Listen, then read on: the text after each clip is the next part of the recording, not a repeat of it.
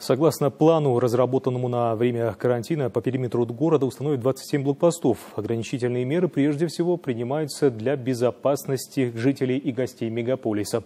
Общественный порядок будут обеспечивать сотрудники полиции, военнослужащие Национальной гвардии и Министерства обороны. В частности, дороги, ведущие в город, перекроют со стороны кольца Карасу, улицы Ахансеры, рынка Алтын-Орда, Копчегайского тракта и других направлений.